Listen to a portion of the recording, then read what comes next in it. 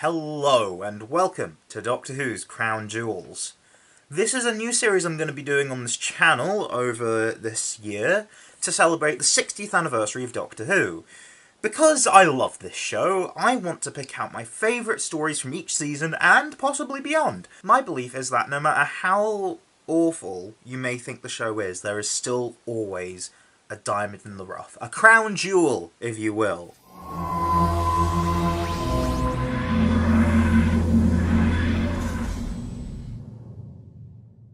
Where better to begin than the beginning?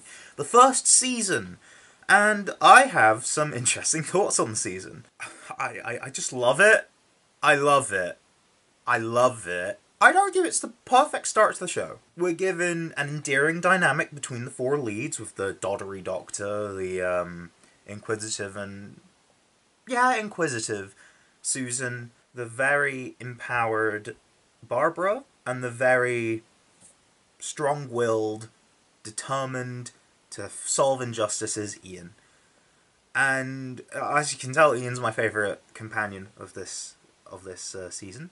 And as for the stories themselves, uh, again, I largely find them great, such as the first part of An Unearthly Child, which I would say is an honourable mention, given how it's a perfect setup to the show with real intrigue, but it's only really an honourable mention for this video, considering the next three parts are probably the weakest of the season. yeah, I'm not really into the caveman politics. So, yeah, no, it's, uh, it's quite, it's quite it's quite dull. I've got to admit, that's quite dull. The Daleks, the first Dalek story, put the show on the map for a reason. I really like how it's able to horrifically entertain the audience for most of its runtime. The Edge of Destruction is a very creative way to fill the uh, two episodes with uh, some very trippy sequences. The Keys of Marinus is a nice trek around an alien world that really has so many ideas brimming in each episode. And The Reign of Terror is a quite relevant finale. Not just with the Doctor as a character, but from what we could learn about the French Revolution. Admittedly, the Sensorites isn't all that, but I do think it starts quite strong and is very intriguing as well.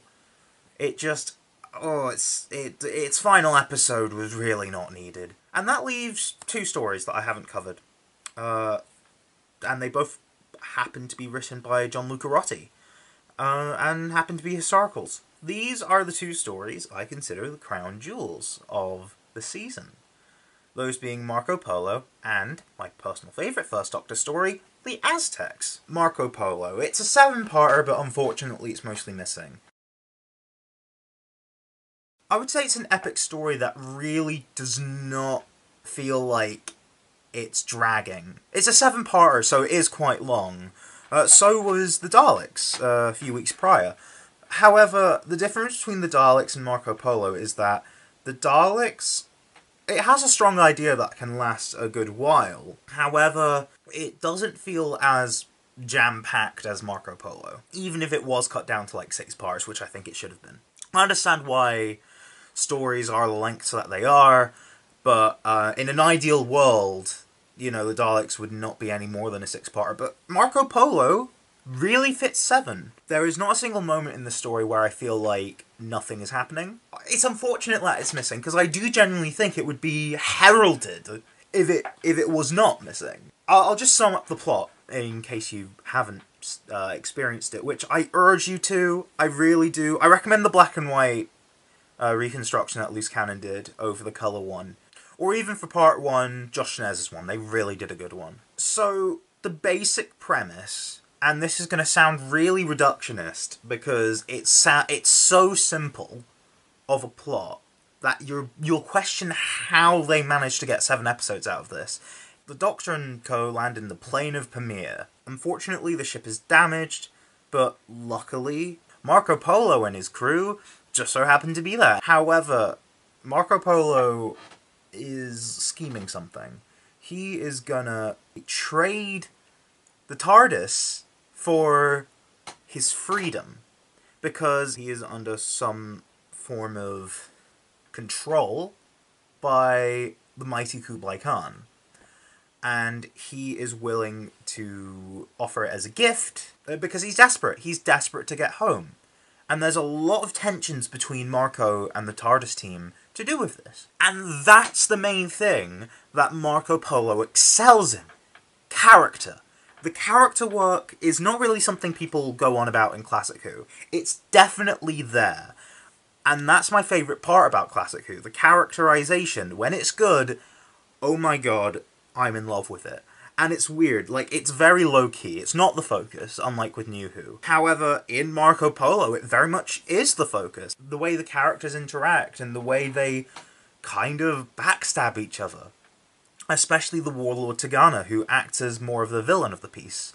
Because he is very much against everyone being alive. Especially the TARDIS team, he considers them evil spirits. I think the other notable side character in this story is Ping Cho. Her main goal is to give Susan something to do, and that she does. They're in love. Don't argue with me. They're in love. Just as Ian and Barbara are in love, okay? Ian and Barbara when the straights are okay. Susan and Ping Cho, yes. Like, it, it very much feels like they're two girlfriends having some fun. Susan trying to help Ping Cho get away from an arranged marriage. Again, when I say it's about character work, I mean it. They let the character work evolve. And not only that, I've not mentioned Ian and Barbara yet. Ian and Barbara, I mean, I've not really mentioned the Doctor yet either, but shush. Ian and Barbara both get to utilize the fact uh, that they teach the studies that they teach. Barbara very much knows Marco Polo's life.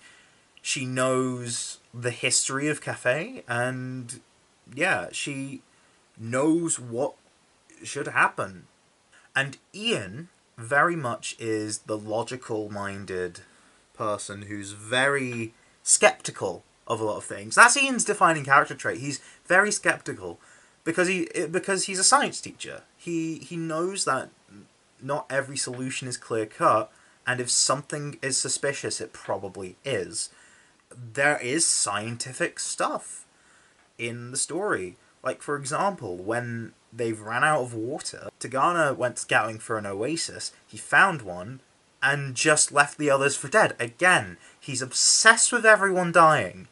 But if it wasn't for the Doctor and Susan discovering that because it was so bitterly cold the previous night and it was so warm that day that the condensation was run had ru- water running down the TARDIS walls, they collected the water and Ian explained it in simple terms to Marco Polo and it was it was great. Uh, the characters themselves, the side characters themselves, are also very deep. Marco Polo feels very human. Also, the Doctor's a bit of a twat in this.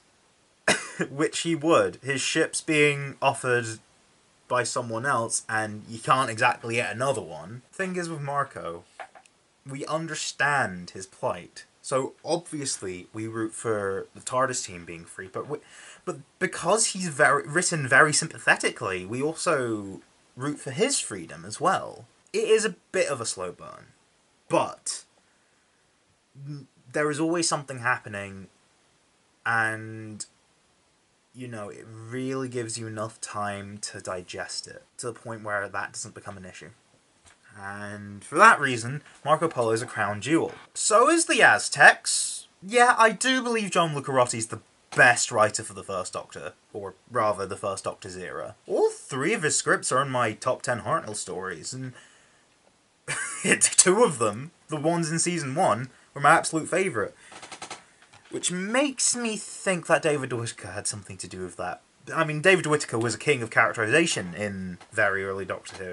So, naturally, I do feel like the partnership between them made something special. Although I praise Marco Polo for its characterization, the Aztecs, although it also naturally has great characterization, that's not the only thing it has going on. It has multiple elements characterization, world building, philosophical concepts, and it balances them all perfectly, I'd say. In this story, we do see Barbara in her finest hour. I will say this is the story that handles Barbara the best. Because the plot of this one, they land in an Aztec temple, a tomb, even. It's the tomb of an Aztec priest, and because Barbara looted it and wore a bracelet she liked the look of, the Aztecs declared that she must be a reincarnation of the god Yetaxa. Because of this, she quickly gets influence in the Aztec society, as do the TARDIS team, as they are the servants of Yetaxa.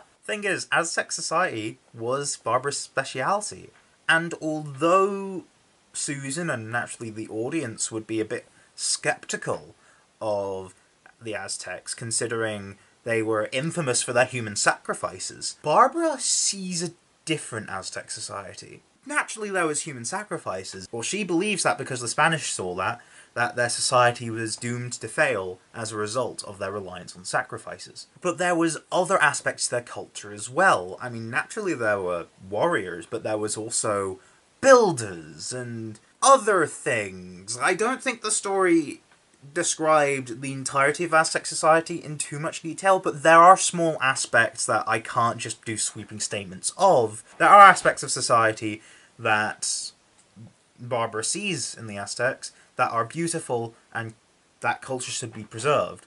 So what she decides to do is, with her new power and influence, she tries to stop the sacrifices from happening by declaring that the gods no longer favour it and the high priest seems to go along with it because the high priest was only really allowing for these sacrifices to take place due to the fact that that's what he believed the gods wanted. And because a god has said no, he is against it. However, the chief executioner doesn't like this. He likes murder. He likes people dying. So he naturally declares that he believes that Barbara is a false goddess.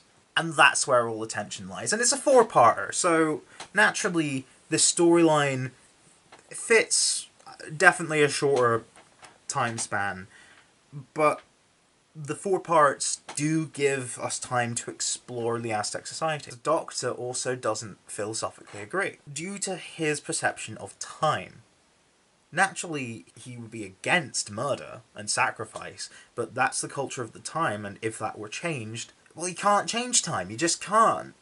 And doing that not only endangers the future, but it also endangers them because they're creating enemies. To the point where they're even banned from the temple apart from Barbara.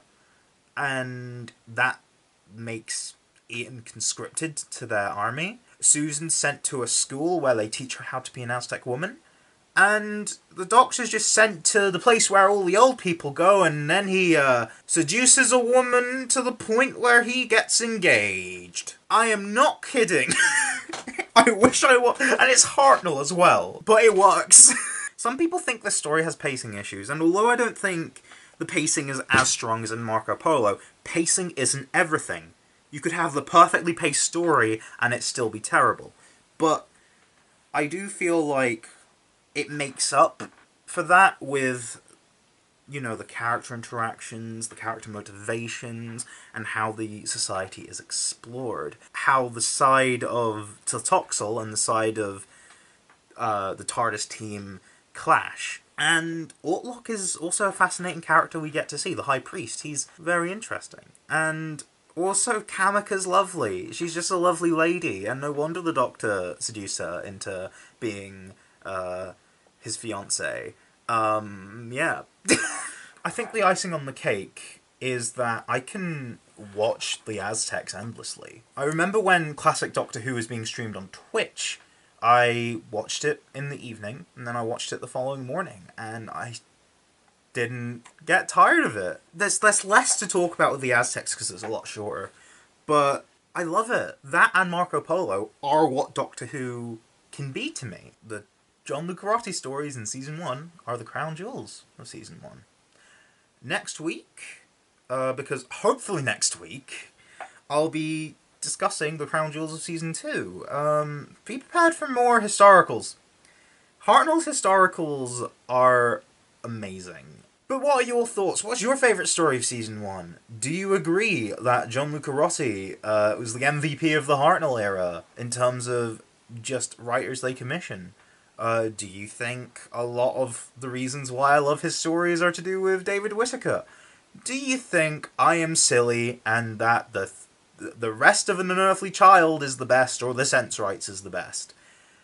Leave your thoughts down in the description comments below. I said the wrong thing. I don't care. I'm not doing another take. And yeah, I'll see you next time with Season two's Crown Jewels.